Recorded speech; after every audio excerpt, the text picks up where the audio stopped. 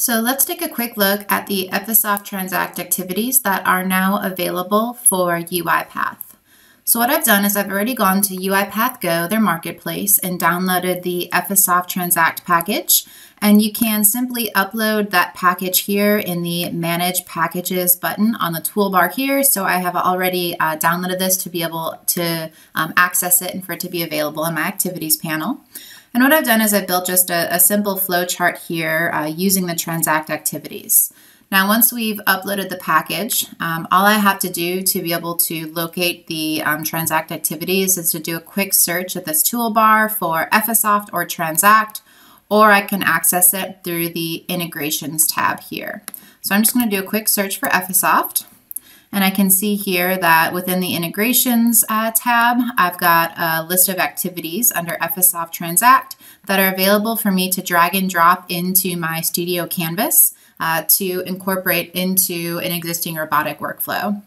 So if I open up this folder watch and claim process for each activity that I created, uh, what I've done is built a simple workflow that's going to um, allow me to watch a folder.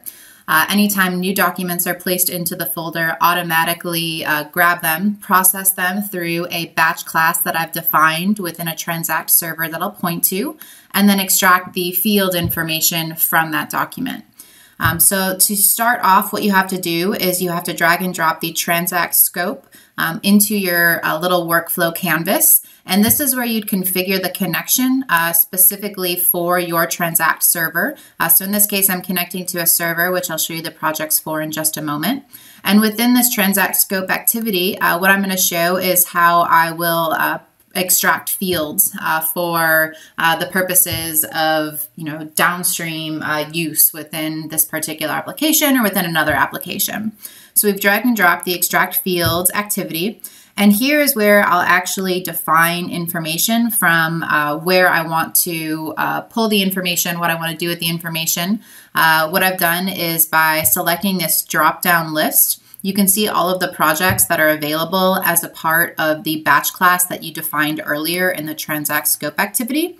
Uh, so in this case, I'm going to click on an insurance claim processing. And for testing purposes, I'm just going to manually define the file um, that I want it to process. Uh, I have a couple of sample insurance claim documents um, located in a folder, so we're just going to test one of those. Uh, within a production environment, what we would do is uh, simply create a variable that points at that location so that anytime documents appear, maybe if an end user were to scan something into a folder, it would automatically grab that information. And then what I've done is just added a little uh, for each activity that's going to write a line um, within the output that will identify all of the fields. Uh, so I've created a variable uh, wherein the fields that we're extracting as a part of this batch class um, will be defined as fields and in our output we'll test to make sure that we're grabbing the information. Um, so you can see here where it's configured within this canvas or here on the right hand panel uh, to define the properties of the activity. So there's a few different options. For now, we're just going to focus on extracting fields. So I'm going to go ahead and run this, uh, see what kind of output we get. And as that automatically minimizes, I'm going to open up my uh, batch class management uh, interface here for the server that I connected to, uh, that I configured for the activity to point to within UiPath. And this is the particular project that I'm that I've defined um, to run the documents through. So I'm going to open up this insurance claim process. Oops, and let me down minimize that since it did finish processing. We'll hop back there in a minute. Uh, this is the insurance claim process uh, uh, project that I defined. Um, I only have one document type here defined as a part of this particular project, um, but maybe in a production environment, you've got you know 50 different document types with multiple fields from each one, and the uh, activity is just triggering uh, documents to run through this particular batch class.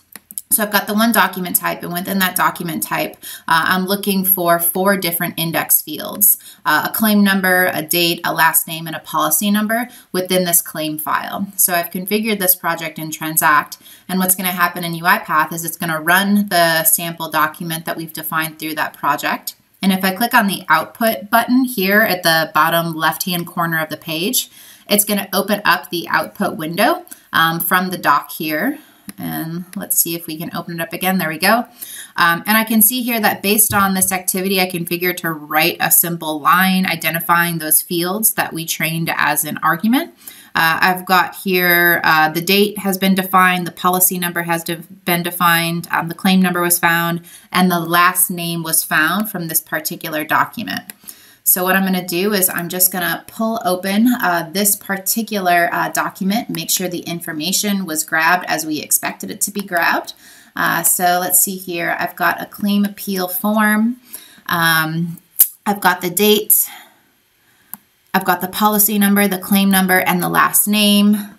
And I believe all of that information was correct here in the output as well. So that's just a quick sneak peek of uh, one of the available activities uh, within the UiPath Studio now for Ephesoft Transact uh, to show how we can uh, create document aware and data enabled um, RPA workflows very easily, very simply uh, within this uh, very easy to use drag and drop studio. So thanks for tuning in. Uh, reach out to sales at ephesoft.com uh, if you have any additional questions or you'd like to learn a little bit more about how you can incorporate this type of functionality into your existing workflows.